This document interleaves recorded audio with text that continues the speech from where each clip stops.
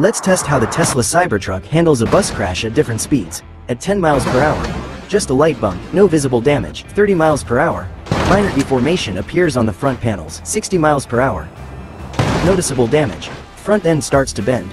At 80 miles per hour, the impact becomes serious. The frame starts to crack. 120 miles per hour, heavy destruction. The Cybertruck's armor is pushed to its limit. At 160 miles per hour, both vehicles are severely damaged. 180 miles per hour. The Cybertruck begins to break apart completely.